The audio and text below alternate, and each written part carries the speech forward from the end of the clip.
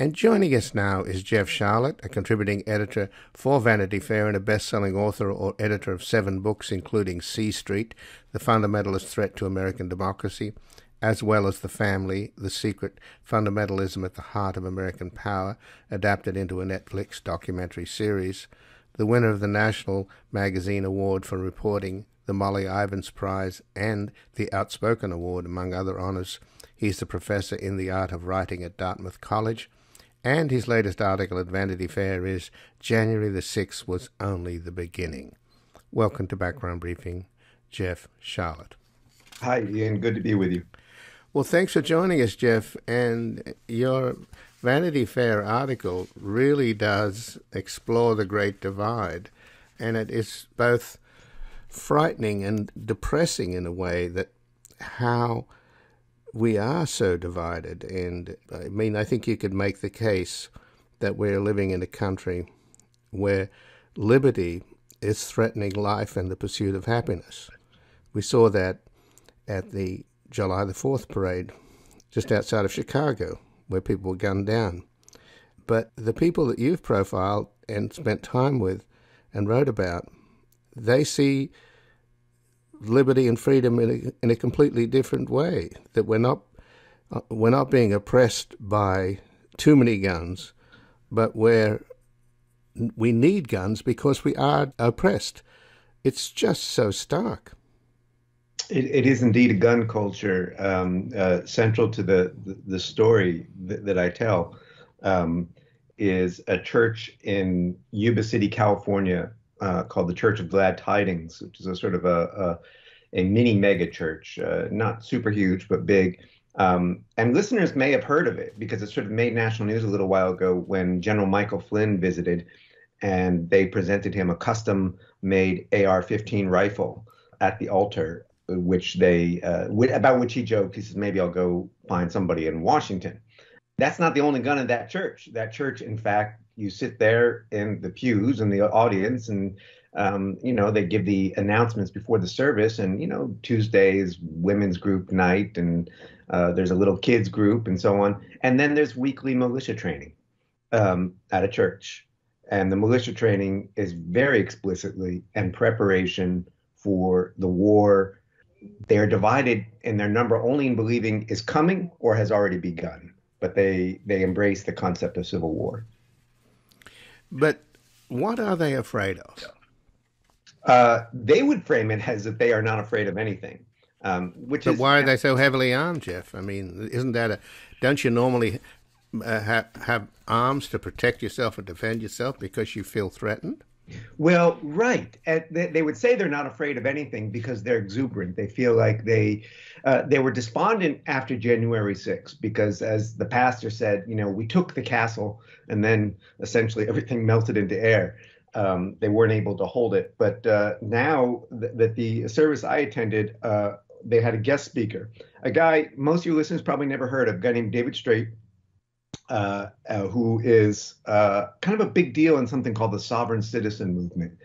Um, this is the idea that uh, citizens, that, that, that federal authority has no power over uh, private citizens. Which, if it sounds crackpot, a recent survey of county sheriffs around the United States found that 40% of sheriffs actually subscribe to some version of this idea.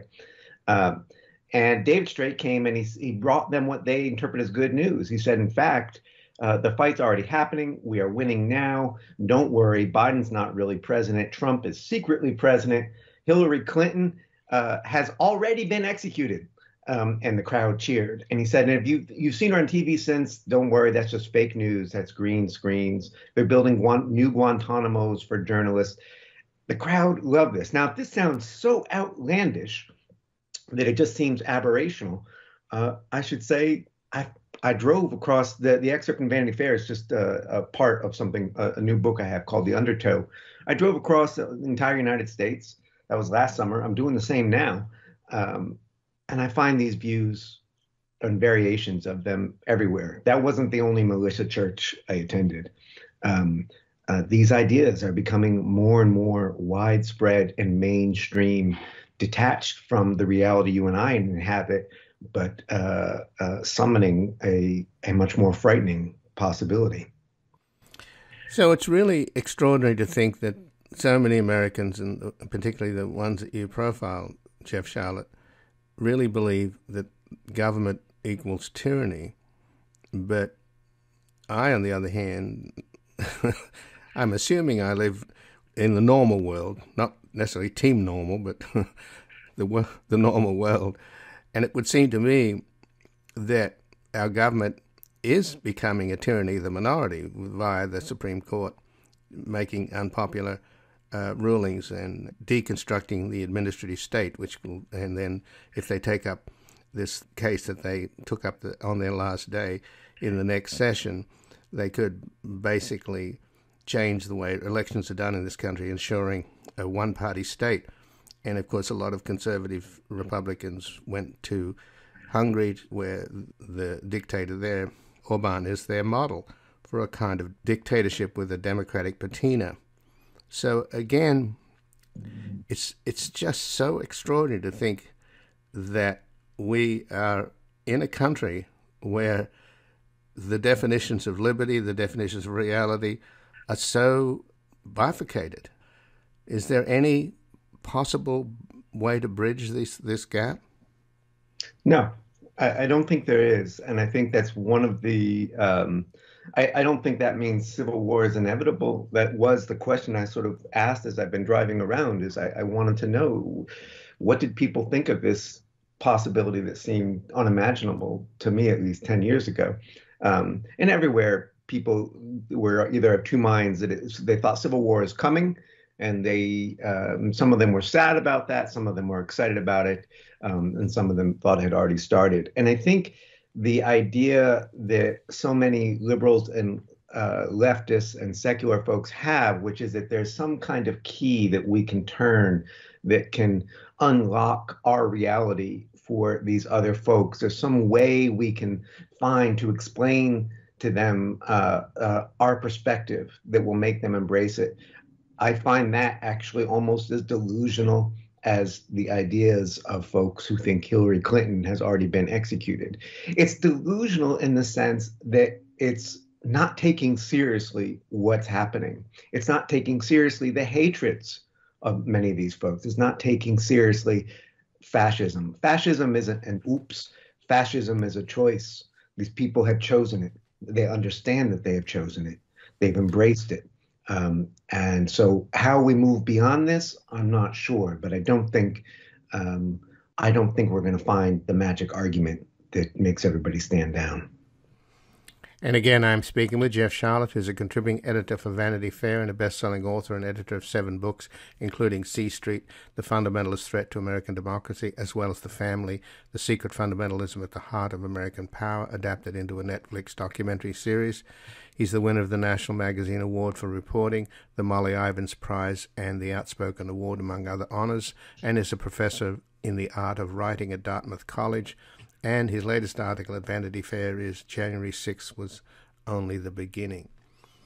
So we are, as you point out, I think we're not heading into fascism, but there's a considerable part of the country that seems to be comfortable with it.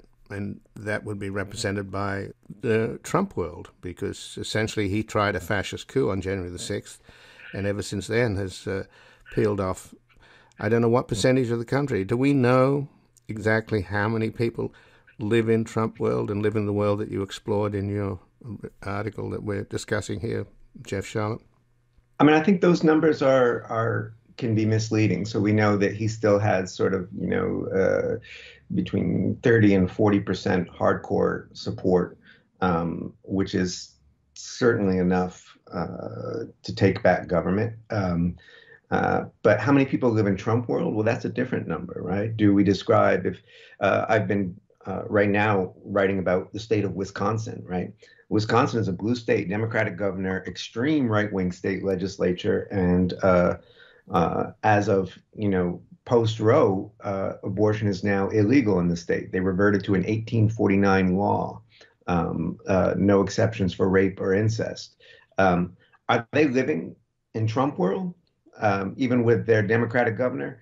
Uh, arguably, in many ways, yes. And I think that's where those we, we understand the reality of growing fascism in America not by counting heads, um, but by looking at spheres of control. Um, and and they can be in surprising places. Like as I say in the story, you know, I start in Sacramento and then go to Yuba City and in California, and these uh, in Sacramento, I began uh, at a a rally for Ashli Babbitt, the woman who was the insurrectionist killed on January 6th by a Capitol Police officer.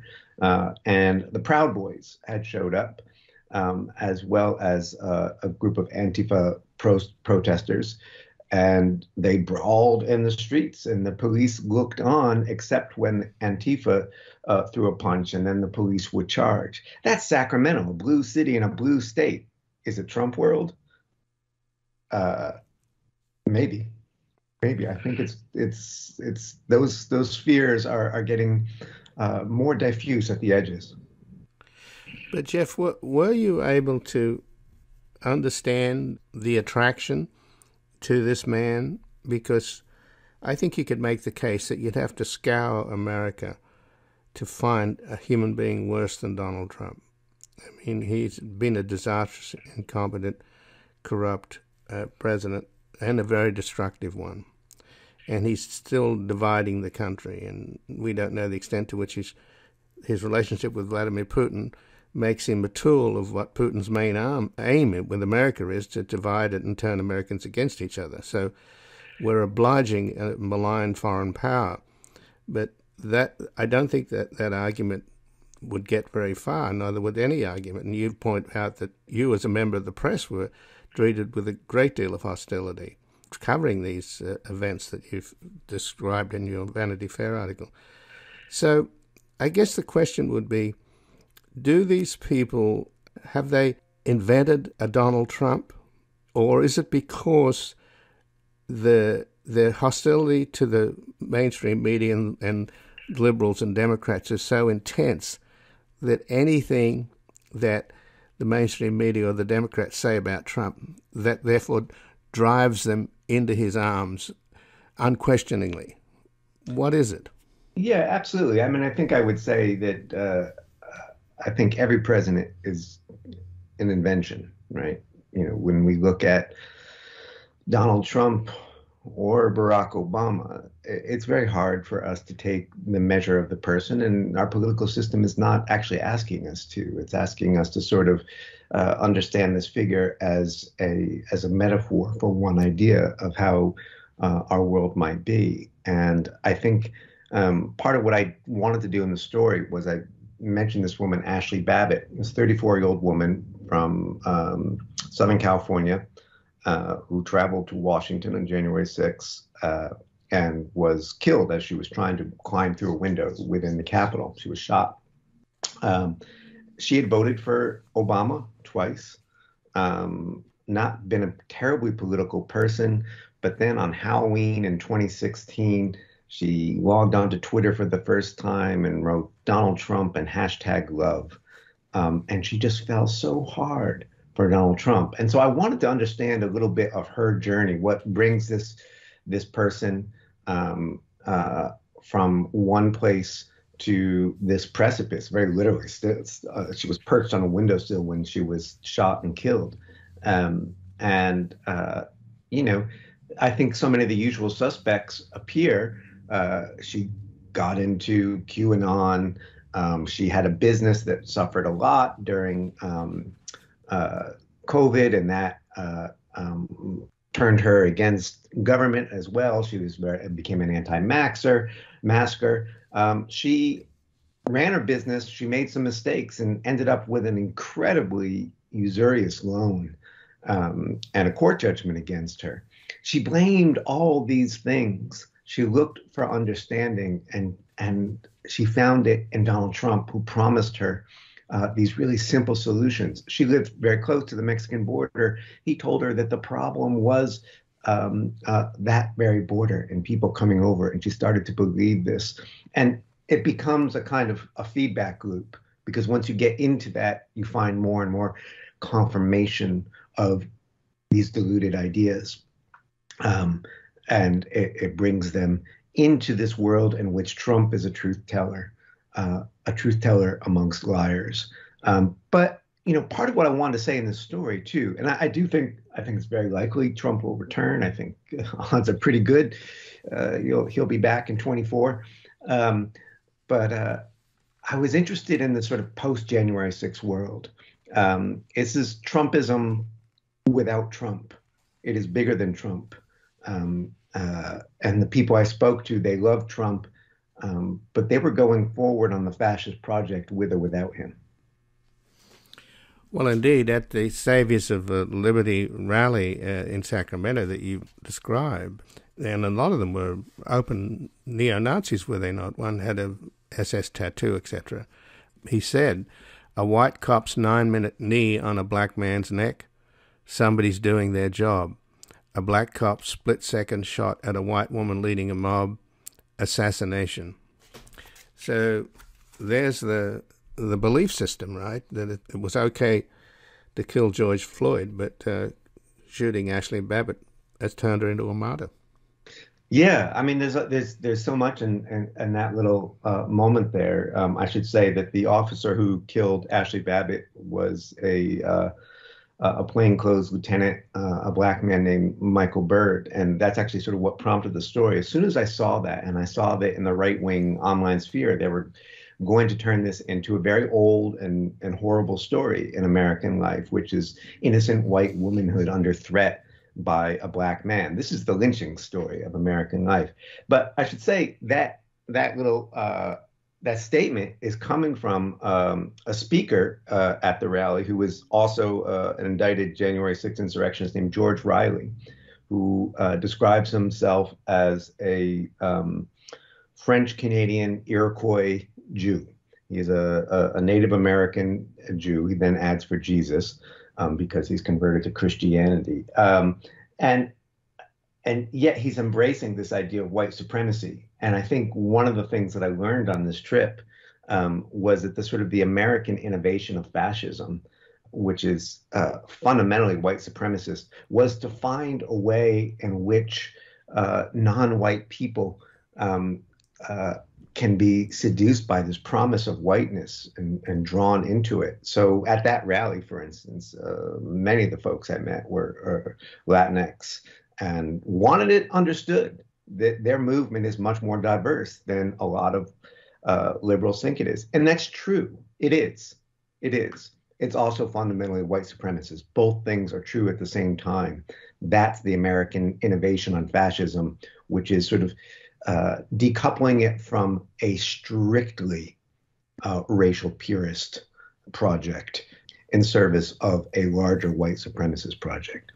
Again, we continue the conversation with Jeff Sharlet, a contributing editor for Vanity Fair and a best-selling author or editor of seven books, including C Street, The Fundamentalist Threat to American Democracy, as well as The Family, The Secret Fundamentalism at the Heart of American Power, adapted into a Netflix documentary series, and the winner of the National the winner of the National Magazine Award for Reporting, the Molly Ivins Prize, and the Outspoken Award, among other honors. He's a professor in the art of writing at Dartmouth College and his latest article in Vanity Fair is January the 6th was only the beginning.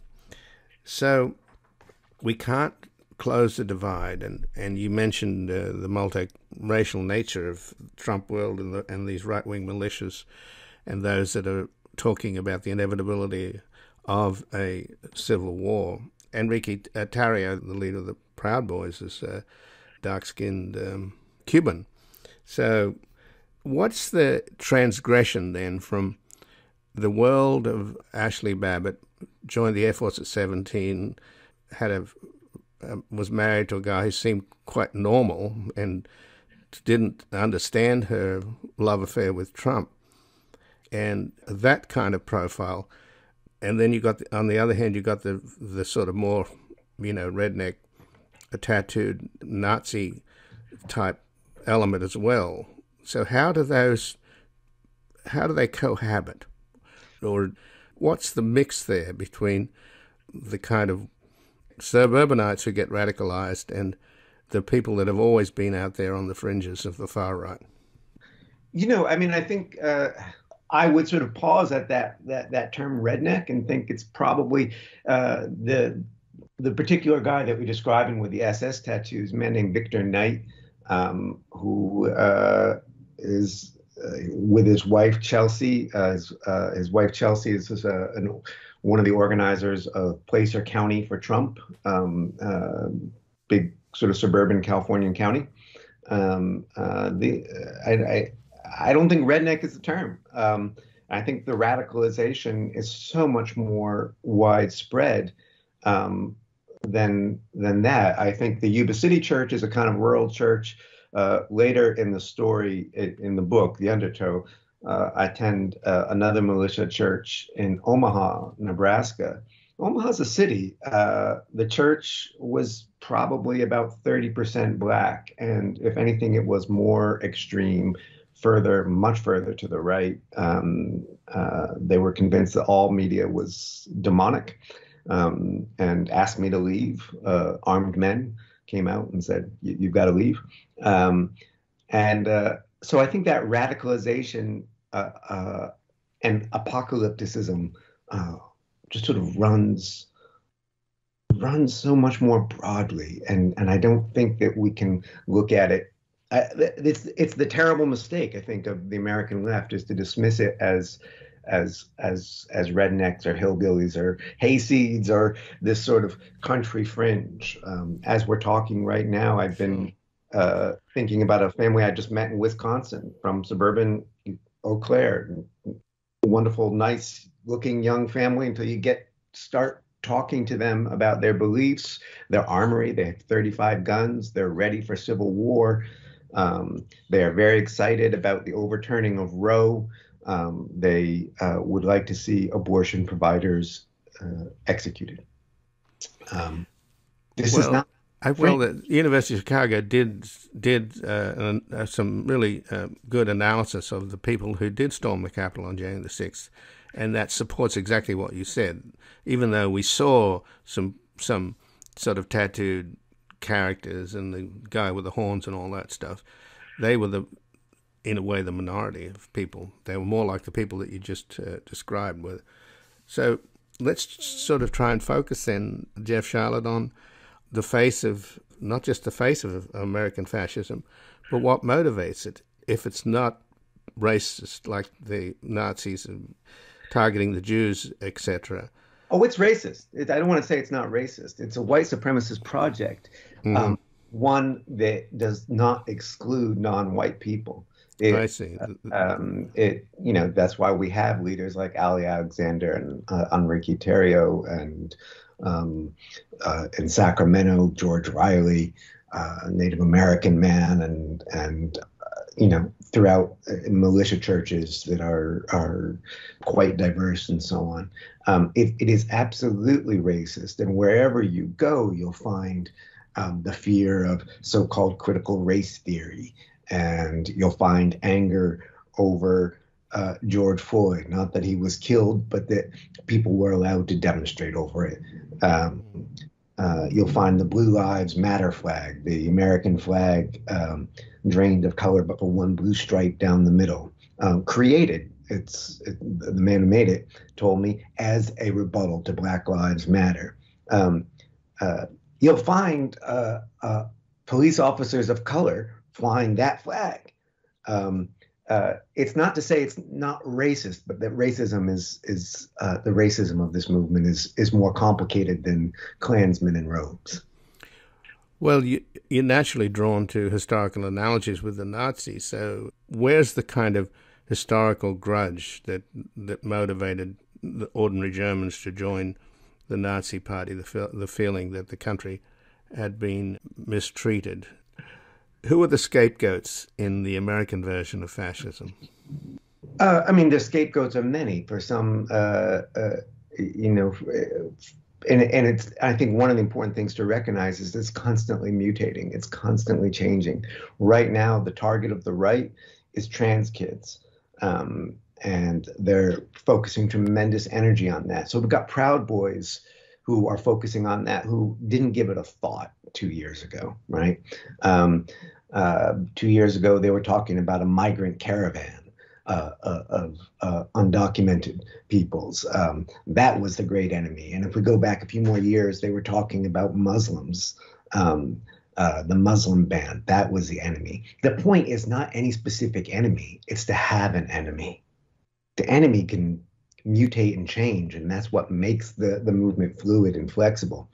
For Ashli Babbitt, this formerly democratic kind of kind of like beach hippie. Her her thing was uh, the shaka. She liked to fly the shaka sign, you know, with a pinky out and thumb out. She was a very laid back person. Her favorite movie was The Big Lebowski. She doesn't fit this profile, but for her, she became really radicalized by the QAnon conspiracy theory that 800,000 children are being uh, kidnapped and taken away a year. This is not true. Uh, if it was, you would notice every school in America would be losing kids on a regular basis. Um, uh, but so for her, uh, the enemy became this kind of amorphous child stealer. Now, a lot of these stories are partaking of uh, old anti Semitism. Uh, the blood libel, the idea that uh, Jews make this is an old anti-Semitic myth that um, that Jews make matzah out of the blood of Christian children, and, and mm. makes no sense, but people believe this. That's being recycled, and many people don't know uh, that it comes from that. I just recently interviewed a man in Wisconsin who uh, was talking about globalist banker conspiracies and child stealing and so on. And so I just asked him, you know, I wanted to know if he was anti-Semitic, and he was absolutely puzzled. He said, "What? What do Jews have anything to do with this?" he was he was pretty much reciting the classic anti-Semitic text, the Protocols of the Elders of Zion. Right. Well, but just in the last minute, though, Jeff, we've run out of time. I just wanted to get a sense, just in closing here, of the idea that they've that the people you profile are either wanting a civil war or, or expecting a civil war. So, is there a sense then, since it's irreconcilable, the country is is hopelessly divided, and there's no way in post-truth America, through rational discourse and reason, to bridge the gap. So therefore, do these people want? If they can't live with the rest of us, do they want to purge us? Uh, some do, and you know, I think it's important to rec- they don't think that they can't live with the rest of us. They think they are the majority.